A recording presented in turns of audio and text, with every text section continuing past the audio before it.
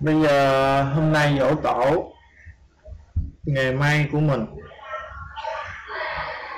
À, chúng ta hãy cùng à, lắng lòng lại một tí ha.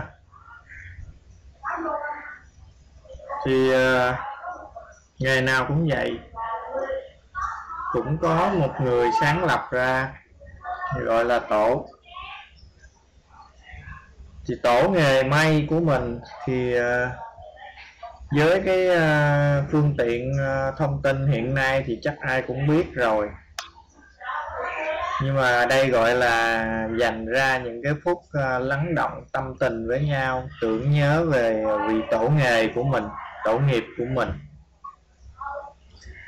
Thì tôi xin mạn phép cầm đèn chạy trước ô tô nhỉ? Bây giờ tôi đang à, thắp đèn lên ha. Rồi à, tôi chạy phía trước ô tô. Mong mọi người là có vội quá thì lách sang bên chứ đừng có à, tông thẳng vào tôi nha. Thì như ai, như mọi người cũng biết rồi đó. Hôm nay là ngày tháng, ngày 12 tháng 12 âm lịch. Thì ngày này gọi là ngày dỗ tổ của nghề may. Mà cái vị à, đức thánh tổ, nghề may của mình là ai? Thì ai ai cũng biết rồi. Thì đã gọi là tâm sự thì ở đây à, tôi chỉ à, dùng tư cách cá nhân cầm đèn chạy trước ô tô. Vậy thôi.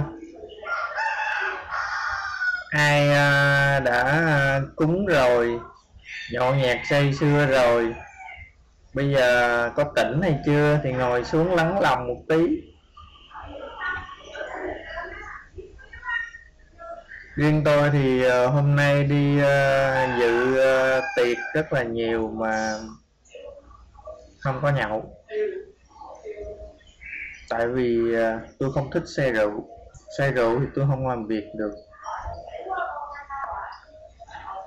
Chắc là hôm nay mọi người cũng ờ, vui vẻ khá nhiều rồi ha.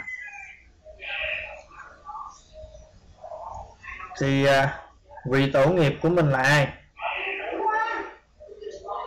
Có phải là bà Nguyễn Thị Sen hay không?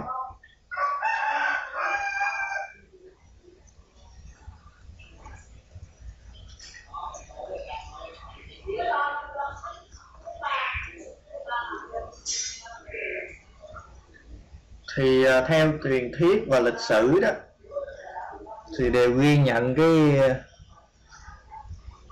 vị tổ nghiệp của mình đó là Nguyễn Thị Sen, là Đức Thánh Tổ nghề may của Việt Nam, hay gọi à, đơn giản là bà tổ nghề may Việt Nam.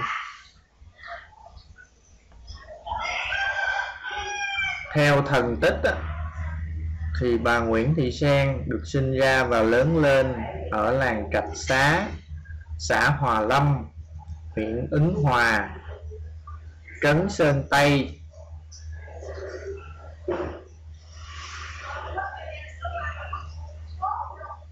Thì đây là cái ngôi làng được Quý Minh Đại Vương là thần tướng ở dưới thời của vua Hùng Vương lập nên. Thì thổi xưa vào tuổi trăng tròn á, bà là người con gái xinh đẹp nết na đảm đang.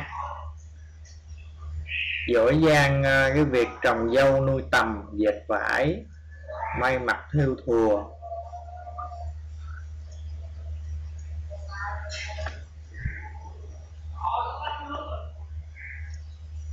Tiếp theo là theo à, đại việt sử ký toàn thư.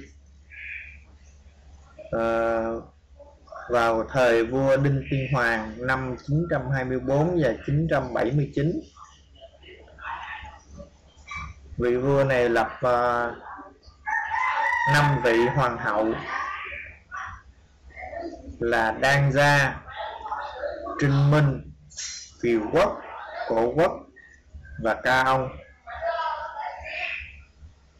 Thì trong đó có uh, cái vị tứ phi hoàng hậu cổ quốc cái người hoàng hậu thứ tư thì chính là cái vị à, thánh tổ ngày may của mình là bà Nguyễn Thị Sen tại cung vua bà được giao quản bộ may trang phục, hoàng triều với trí thông minh và sự khéo léo và sáng tạo bà đã cùng các cái cung phi tạo nên các loại quần áo của hoàng tôn công tử, hoàng hậu và triều nghi, thứ nào cũng vừa trang trọng vừa tiện lợi, đặc biệt là đã đào tạo được đội ngũ người may, người theo phùa rất là đông đảo. Bà dạy may cho các cung nữ từng đường kim, mũi chỉ và phát triển nghề may trong cung vua mà trước đó là không hề có.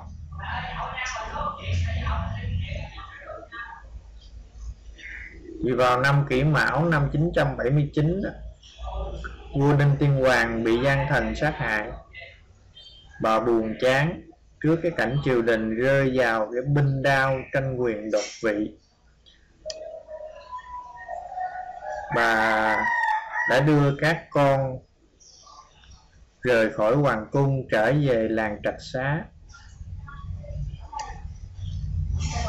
Thì ở tại ngôi làng này và đã mang nghề may ra và dạy cho dân làng. Và từ đó cái nghề may này được đời trước nối tiếp với đời sau.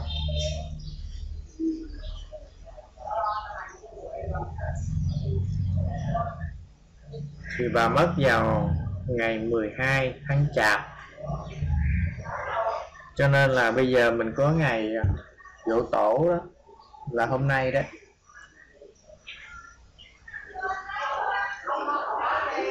thì đó là sơ lược về uh, lịch sử của cái vị tổ nghiệp nghề may của mình. Thì à, mọi người lên trên mạng thì ai cũng đọc được thông tin rồi. Nhưng mà tôi cũng xin mặn phép ngồi đây đọc lại để cho những cái à, những cái em những cái à, chị cô gì ở vùng sâu, vùng xa, một lúc nào đó thấy được video này mà họ không có cái ờ, cái cơ hội tiếp cận với thông tin hiện đại thì họ cũng biết. Đó là mục đích.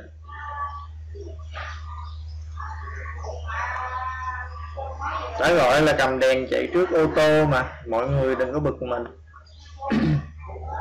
Rồi bây giờ sơ lược về lịch sử lai lịch của uh, vị tổ ngày mai của mình rồi. Thì bây giờ trong cái ờ, lễ vật đó thì mọi người uh, cúng tùy hỷ đúng không? Ai uh, có điều kiện như thế nào thì cúng như thế đó. Chứ như tôi thì uh, tôi quy y Phật cho nên là tôi ngại sắc sanh tôi à, chỉ cúng trái cây thôi.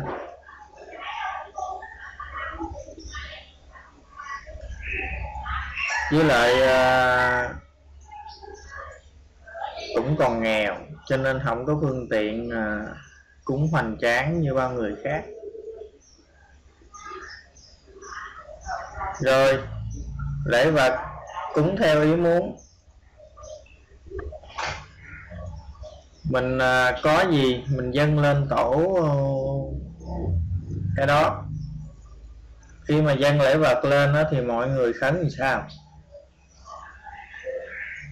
Chứ còn tôi thì à, bao năm mà tôi cũng à, khấn theo cái bài khấn ở trong cái quyển mà gọi là cái gì ta? Tự dân quên. Đại khái là cái quyển đó ghi chép lại tất cả những cái bài khấn về những cái uh, lễ nghi những cái lễ tục của đất nước Việt Nam.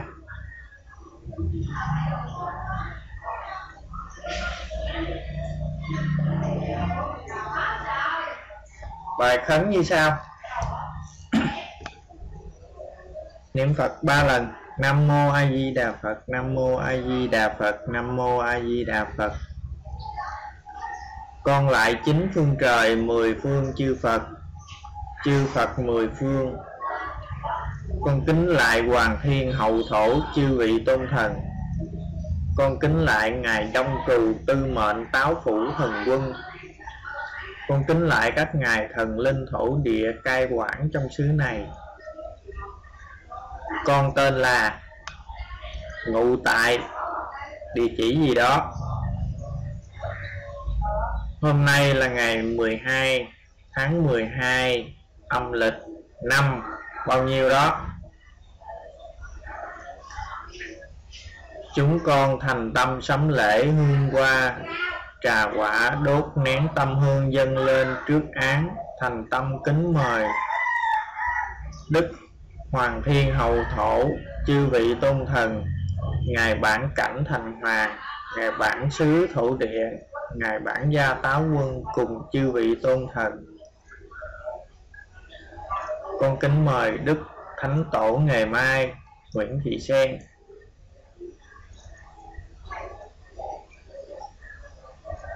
Con cúi xin chư vị tôn thần cùng với đức thánh tổ ngày mai, nguyễn thị sen.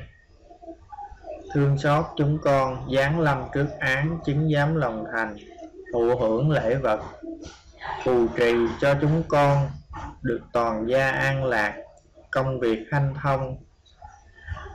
Người vượng lộc tài tăng tiến, tâm đạo mở mang, sở cầu tất ứng, sở nguyện tòng tâm. Chúng con lễ bạc tâm thành. Trước án kính lễ, cuối sinh chư vị tôn thần cùng với thánh sư ngày mai nguyễn thị sen phù hộ độ trì cho chúng con. Nam mô a di đà phật nam mô a di đà phật nam mô a di đà phật. Đó đó là xong bài khấn đấy. Thì uh, như uh, quý vị nãy giờ xem đó những cái hình ảnh này là những cái hình ảnh mà ở tại làng trạch xá, cái nơi mà vị tổ nghiệp mình sống ngày xưa đó. Người ta tổ chức, dỗ tổ, những cái nghi lễ như thế đó. Rất là hoành tráng, đúng không?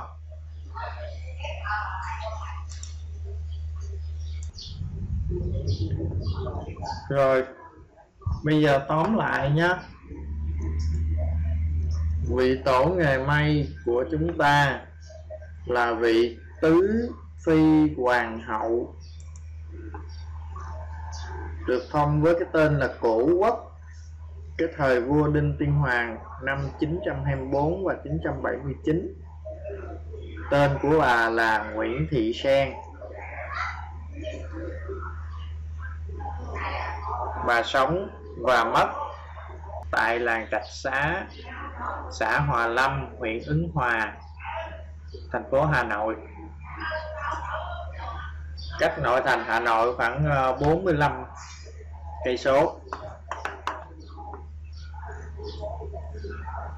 Thì uh, theo như nhiều thông tin của nhiều cái uh, bài viết trên mạng nói á,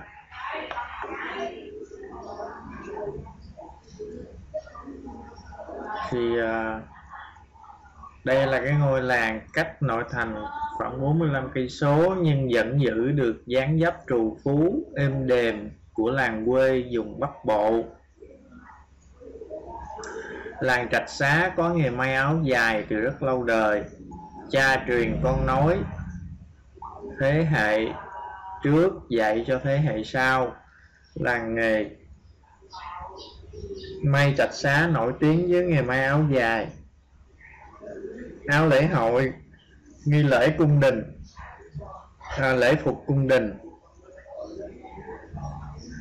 Đây là nơi à, hội tụ của nhiều thợ may tài hoa. Đã dùng cái tình yêu nghề và cái đôi bàn tay khéo léo làm nên những cái chiếc áo dài truyền thống rất là đẹp đặc điểm đặc biệt nhất của áo dài trạch xá là tà và gấu áo. Phải làm thủ công bằng tay.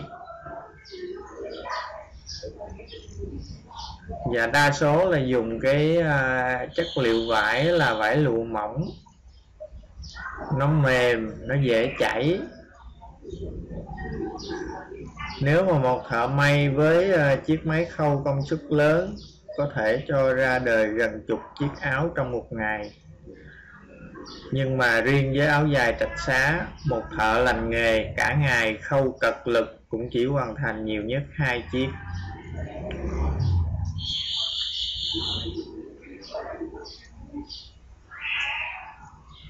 Làng trạch xá à, theo thống kê trước đây á, có khoảng 600 người làm nghề tại các cửa hiệu lớn ở Hà Nội.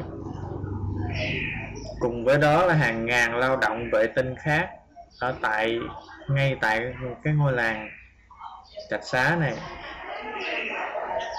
Những cái cửa hiệu nổi tiếng như là Phúc Trạch, Mỹ Trạch, Mỹ Vinh, Mỹ Hào vân vân nằm rải rác trên các phố Lương Văn Can, phố Khâm Thiên, phố Cầu Gỗ đều là do những ông chủ trạch xá lập nên. Thì ờ, tôi thì tôi không có cơ hội được về đó bao giờ. Thì mọi người ở gần Hà Nội thì nếu có dịp đến Hà Nội thì nhớ tham quan qua cái um, làng nghề mà cái vị tổ của mình đã ở sống ở đó nếu may mắn thì à, cái nhóm của chúng ta sau này cũng nên ờ, tổ chức một chuyến đi nha. Tổ chức một chuyến đi ờ, đúng ngay ngày kỷ niệm dỗ tổ của ờ, tổ nghề của mình. Hy vọng ngày đó sẽ đến sớm.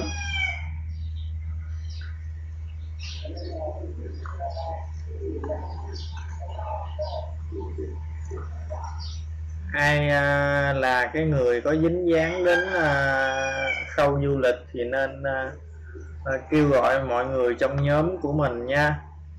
À, có một ngày nào đó mình tập hợp lại để cùng về cái à, mảnh đất của vị tổ nghiệp của mình. Thì à, quý vị đã thấy những cái hình ảnh đó những cái hình ảnh là bắt đầu đi vào làng và vào đến cái đền thờ tổ nghiệp của mình đó. Các vị thấy, ở trong này có một cái à, bức ảnh.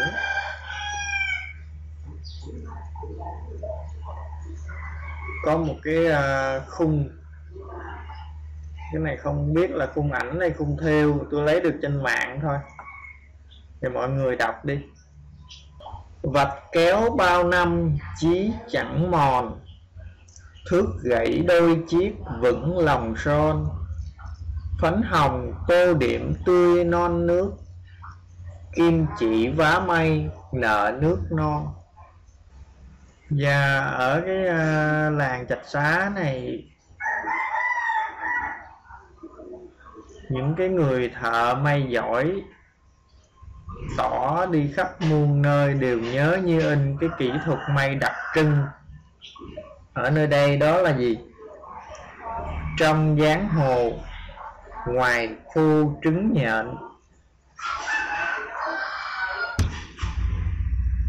Giờ phát âm theo kiểu miền Bắc nha. Nhiều khi nói kiểu miền Nam thì à, mọi người nghe không ra trong gián hồ ngoài phu trứng nhện.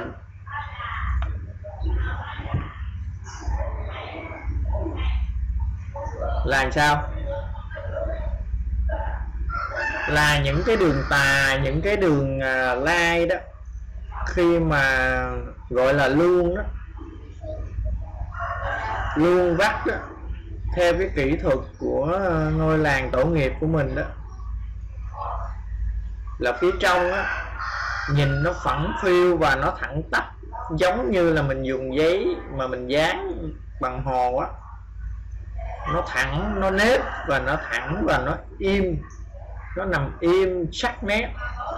Còn phía ngoài á, phía ngoài là để lộ cái cái cái lỗ kim giống như trứng nhện. Thậm chí là là ví ví dụ như mình dùng cái chỉ màu trắng mà mình luôn cái tà áo dài màu đen dùng chỉ trắng giải màu đen hoặc là là chỉ đen vải trắng. Nhưng mà nhìn vẫn không thấy cái ờ, cái chỉ nó nổi lên. Cái kỹ thuật đạt đến như thế đó. Rồi uh, ở cái ngôi làng này được mệnh danh là ngôi làng kỳ lạ nhất Việt Nam. Và bởi vì sao? Bởi vì đàn ông thì ngồi mát trong nhà và đàn bà thì ra đồng cày cuốc. Là bởi vì ở cái làng trạch xá này á, những cái công việc nặng nhọc như là phụ hồ, hút bùn, cày bừa là đều do những người phụ nữ làm. Trong khi đó, các đấng mày râu đó là theo thùa may vá. Đó. Là bởi vì sao? Bởi vì cái giai đoạn trước là cái nghề may này chỉ truyền cho con trai. Thêm cái đặc biệt nữa là cái làng cách cái trung tâm Hà Nội chỉ có mấy chục cây số thôi nhưng mà là cái ngôi làng nằm trong những cái số ít ngôi làng là giữ được những cái nét truyền thống của làng quê Việt Nam, như là cây đa, giếng nước, sân đình. Có vẻ đẹp trầm mặc, cổ kính đến nao lòng của làng nghề may nổi tiếng nhất Việt Nam. Và ở đây có rất là nhiều du khách ghé thăm.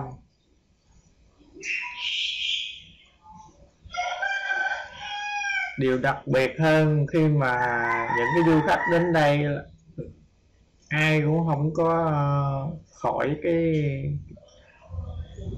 cái sự ngỡ ngàng khi mà chứng kiến cái cảnh mà trái ngược giữa người đàn ông và người đàn bà quán đổi vị trí cho nhau. Đó, thì mọi người ờ, xem. Đây là những cái hình ảnh tiêu biểu của ờ, những người thợ may lão làng ở cái ngôi làng này. Toàn là đàn ông đúng không? Trước đây tôi có mặc cảm là tại sao tôi là đàn ông mà suốt ngày ở giữa bốn cái vách tường.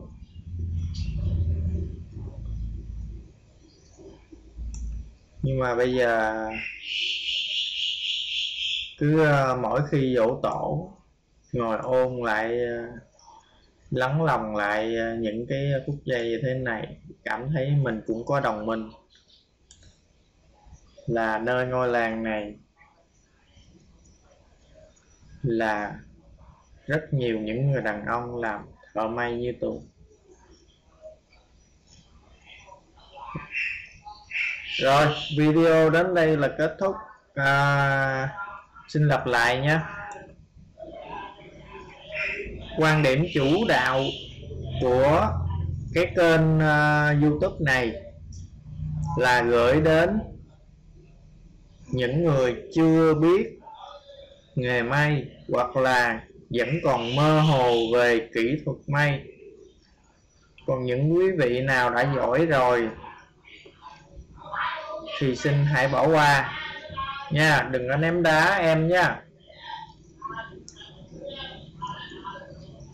Xin chào mọi người.